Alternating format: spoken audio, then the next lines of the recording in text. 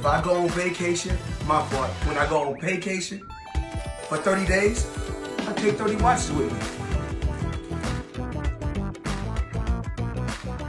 But you know what? You know what? What's crazy is this.